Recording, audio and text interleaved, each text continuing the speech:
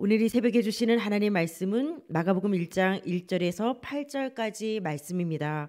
제가 봉독해 드리겠습니다. 하나님의 아들 예수 그리스도의 복음의 시작이라. 선지자 이사야의 글에 보라. 내가 내 사자를 내 앞에 보내노니 그가 내 길을 준비하리라. 광야에 외치는 자의 소리가 있어 이르되 너희는 주의 길을 준비하라. 그의 오실 길을 곧게 하라 기록된 것과 같이 세례 요한이 광야에 이르러 죄사함을 받게 하는 해계의 세례를 전파하니 온 유대 지방과 예루살렘 사람이 다 나아가 자기 죄를 자복하고 유단강에서 그에게 세례를 받더라. 요한은 낙타 털옷을 입고 허리에 가죽띠를 띠고 메뚜기와 석청을 먹더라. 그가 전파하여 이르되 나보다 능력 많으신 이가 내 뒤에 오시나니 나는 굽혀 그의 신발끈을 풀기도 감당하지 못하겠노라. 나는 너희에게 물로 세례를 베풀었거니와 그는 너희에게 성령으로 세례를 베푸시리라. 아멘. 이 시간 복음의 증인이란 제목으로 생명의 말씀을 드립니다. 이제 사도행전 강해가 끝나고 이제 어제 주일부터 마가복음 강해가 시작이 되었습니다. 어, 다른 목사님께서 서두에 또 서론에 말씀하신 대로 사도행전은 그 현장 변화의 놀라운 모든 역사가 복음서를 기반으로 하고 있습니다. 어, 특별히 마가복음은 마태, 마가, 누가, 요한복음 바로 이 사복음서 중에서도 가장 짧으면서 또 신약 성경 중에 가장 먼저 기록된 말씀입니다. 그래서 우리가 흔히 복음서의 원조다라고 마가복음을 말하고 있습니다. 마가복음은 당연히 마가가 기록을 했고요. 또 바나바의 생질 조카이기도 합니다. 바울과 바나바가 1차 선교 여행을 떠내, 떠날 때 함께 동행했던 인물이었고 또 의견 차이로 가 생기면서 바울을 떠나서 예루살렘으로 돌아갔지만 이후에 바울과의 모든 관계들이 다시 회복이 되었습니다. 바울의 순교 이후에 어, 사실적으로 베드로와 함께 사역을 하면서 사실 초대교회 두 영적 거목인 바로 이 바울과 베드로와 함께 동역을 하다 보니 예수님 생애에 관한 어, 자료도 뿐만 아니라 또 그리스도의 관점으로 구약을 해석하는 방법을 두 영적 거목을 통해서 전수받게 되어집니다. 따라서 마가복음은 복음서 가운데서도 문장이 굉장히 간결하고 명료하면서 힘찬 필체로 또 기록이 되어 있습니다. 흔히 사복음서에 보면 예수님의 족보 또 어린 시절 이게 탄생 이야기가 기록이 되어 있지만 마가복음은 바로 예수님의 공생애부터 기록을 하고 있습니다. 현재 시대로 기록이 되어 있다 보니 마치 눈앞에서 그대로 일어나는 일처럼 굉장히 생중계하듯이 어, 말씀이 기록되어 있고 41번이나 즉시라는 이 말이 등장을 합니다. 즉시 굉장히 빠르게 긴급한 어조로 바로 이 복음을 전파하고 있습니다. 이 마가복음을 기록한 이유는 그 수신자가 바로 로마에 있는 성도들이었습니다. 어, 당시 로마 시내의 화재 사건을 비미로 네로 황제의 극심한 이 핍박이 어, 더해지면서 복음을 전달함으로써 로마에 있는 성도들에게 참 소망을 전달하고자 마가복음을 기록하게 되었습니다.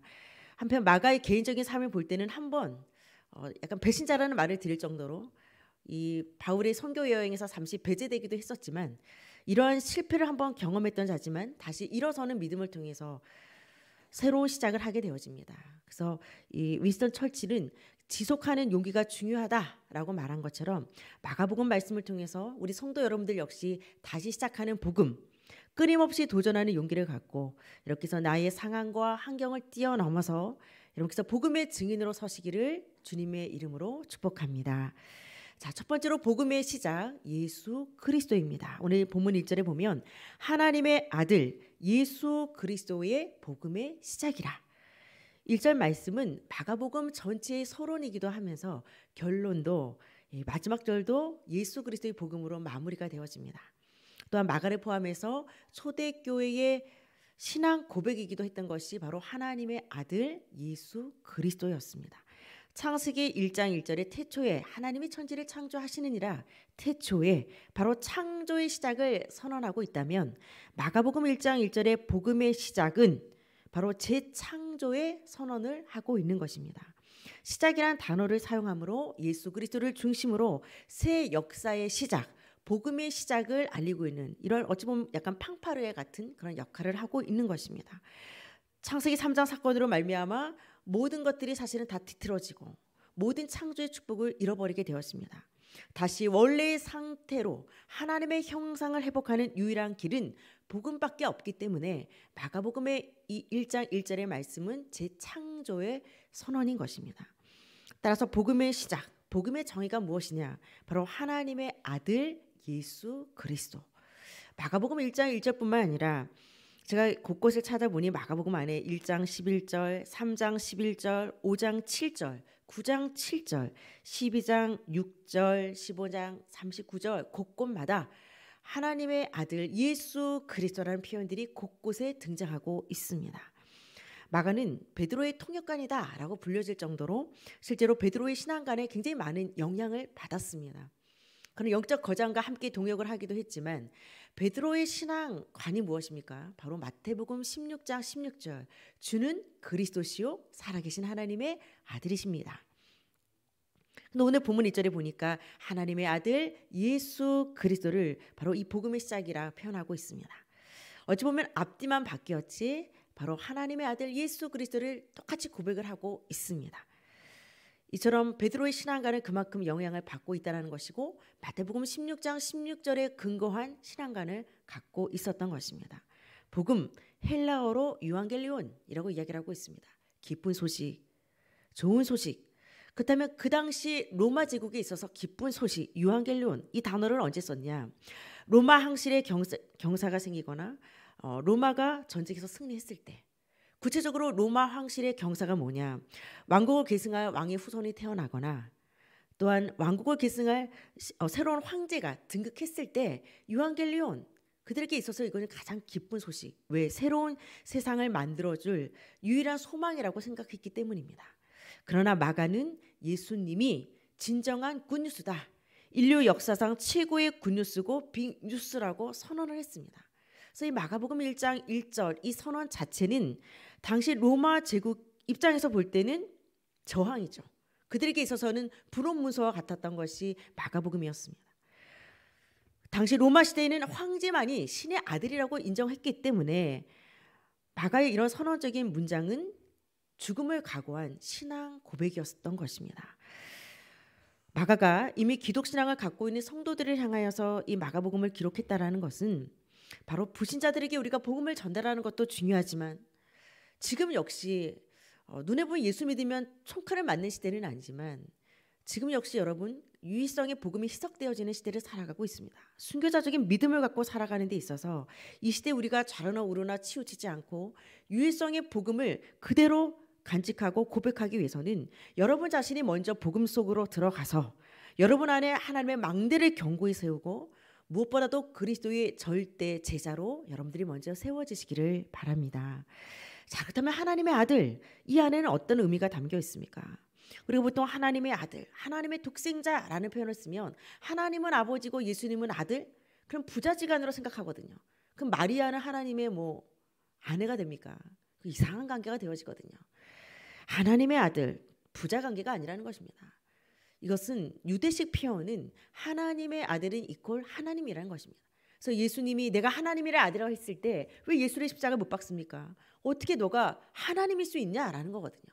어떻게 저 저주의 상징인 십자가, 흉악 범죄자들을 매다는 저 저주의 상징 십자가에 달린 예수가 어떻게 구세주가 될 수 있냐라는 것입니다. 하나님의 아들, 하나님과 동등된 분. 빌립보서 2장 6절의 말씀처럼 하나님의 본체라는 뜻입니다.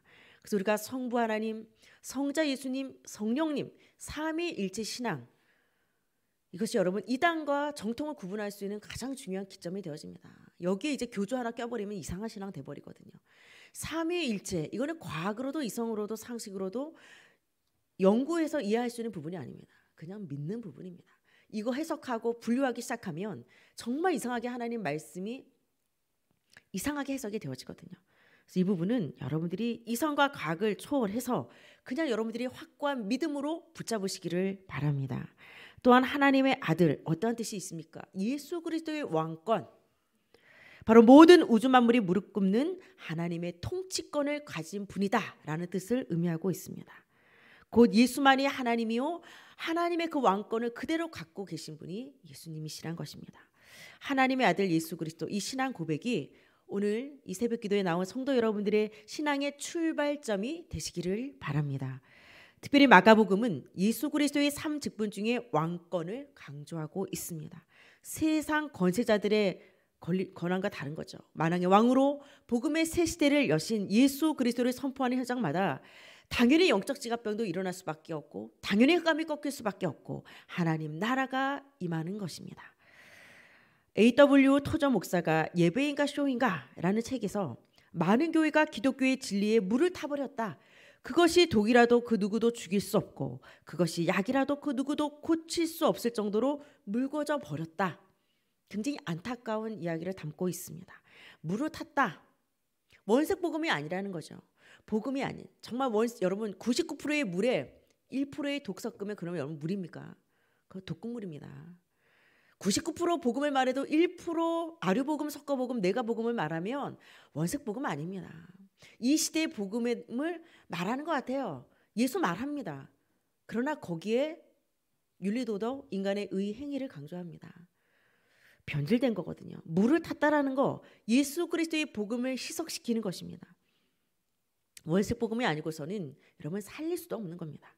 교회가 본질을 놓쳐버렸기 때문에 무기력한 상태를 오히려 정상 상태라고 말할 정도니 이제는 무기력한 이 정상 상태를 이제는 우리는 완전히 깨버리고 유일성의 절대 복음을 선포하는 3.1조 운동에 정말 3.1조를 이루어서 삼운동의 주역으로 여러분들이 서시기를 바랍니다. 이를 통해서 지난 토요일 날 중화권 복음화를 위한 우리 대림동의 예원 중화권 지교회가 설립이 되었고 오늘부터 토요일까지 한 주간 일본 하마마치 지역에 또 해외 전도 캠프가 진행되어집니다. 여러분 함께 기도해 주시고 망국을 기업으로 얻는 우리 237 선교 공동체 복음 공동체의 축복을 누리시기를 주님의 이름으로 축복합니다. 자, 두 번째로 최초의 증인 세례 요한입니다. 오늘 본문 2절 말씀에 보면 선지자 이사야는 이 복음을 위해서 예비된 사자가 있음을 예언하고 있습니다. 바로 그 예언된 사자가 그 당사자가 바로 세례 요한이라는 것입니다. 세례 요한의 삶은 이미 구약의 말라기 또 이사야서를 통해서 예언되고 있습니다. 예수님이 오시기 전 700년 전에 이사야 선지자는 이사야 40장 3절에 이스라엘을 회복할 메시아가 오실 건데 오시기 전에 광야에서 외치며 주의 길을 예비할 자가 있다 라고 이미 예언을 했고요. 그 후 300년 뒤에 말라기 선지자 역시 말라기서 3장 1절 말씀에 이사야 선지자와 같은 똑같은 예언을 합니다. 다섯 세례 요한은 로마의 압자에 있던 이스라엘 백성들이 기대하고 염원했던 그들은 굉장히 이 메시아 대망 사상이 강하지 않았습니까? 그 메시아 기다리던 바로 그 메시아가 그리스도로 왔다라는 사실을 그 예수가 왔다는 사실을 가장 먼저 알리는 광야의 소리요 선지자적인 역할을 감당한 것입니다. 본문 2절에 보면 내 길을 준비하리라. 바로 예수님 구원자로 오신 그 예수님 공생애를 시작하실 그 예수님의 길을 시작하는 거거든요. 그래서 준비한다라는 것은 원어적인 의미가 준비하다라는 뜻도 예비하다라는 뜻도 있지만 돌이키다라는 뜻도 있습니다.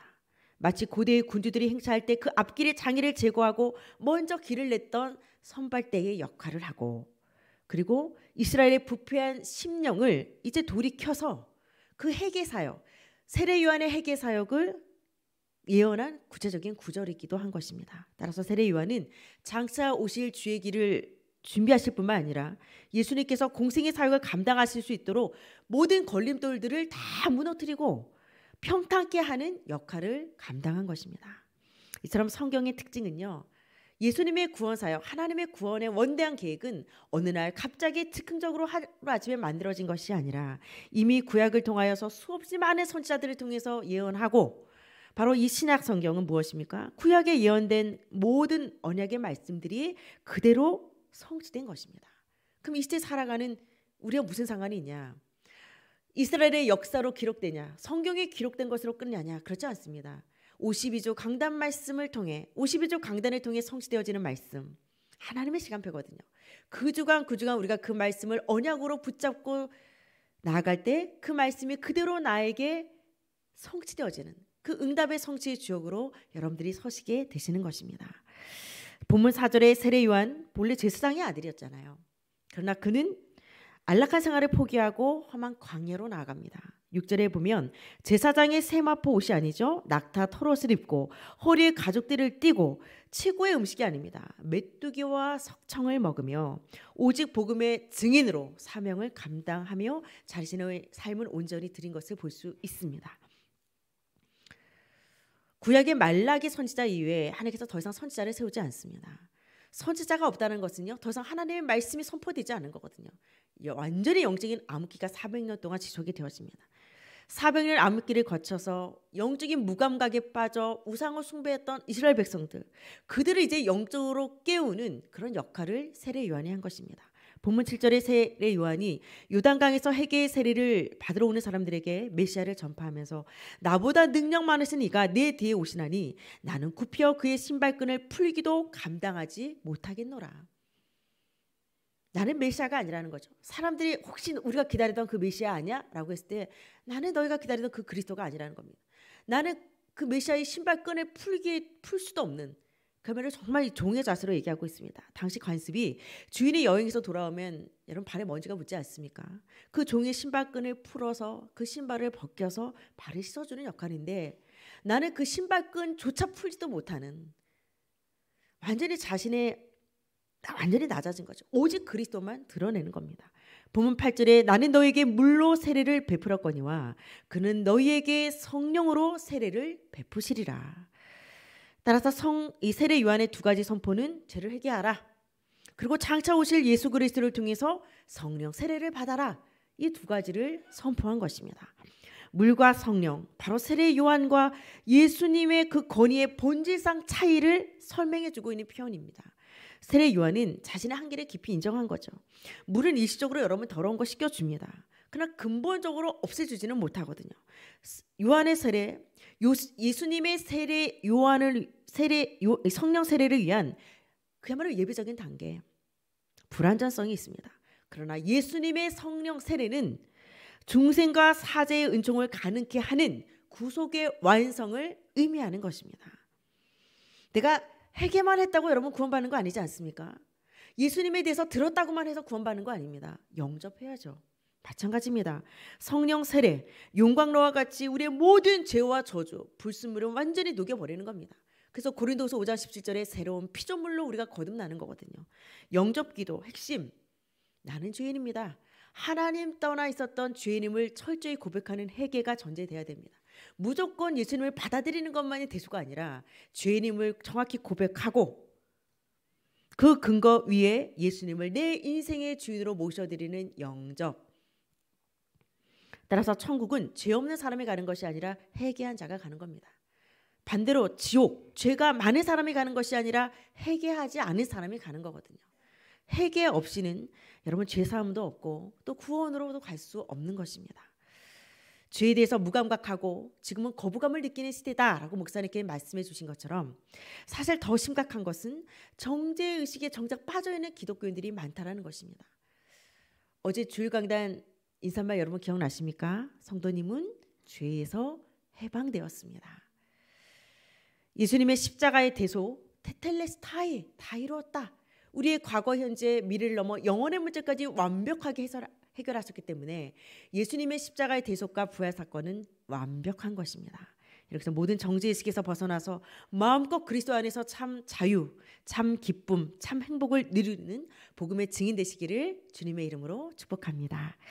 결론입니다. 리더십 바이러스에 대해서 말씀을 해주셨습니다.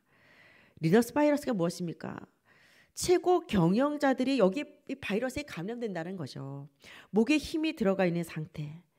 경영자로서 조직을 살리려고 준 권한과 비전을 갖고 자기의 권력을 삼아요. 자기의 개인적인 야망으로 그 비전을 변질시킨다라는 것입니다.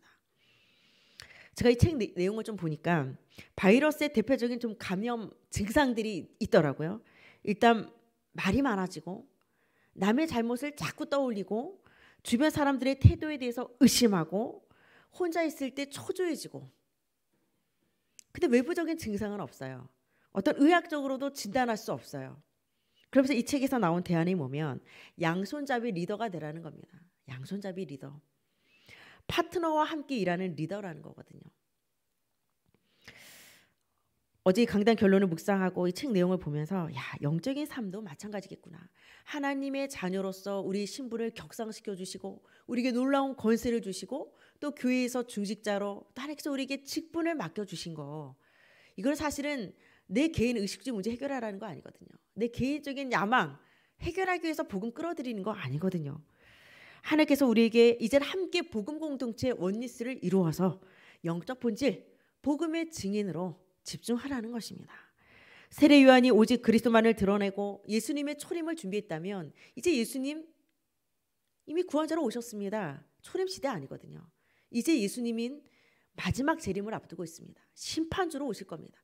구원주가 아닌 마지막 심판주로 재림주로 오실 것입니다. 우리는 그 재림을 준비하면서 오직 하나님의 아들 예수 그리스도의 복음을 드러내는 복음의 증인된 삶을 사시기를 주님의 이름으로 축복합니다.